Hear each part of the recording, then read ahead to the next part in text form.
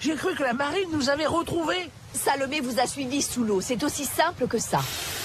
Je vois. Ne change pas de sujet, espèce de grosse bête pleine de poils. Pardon.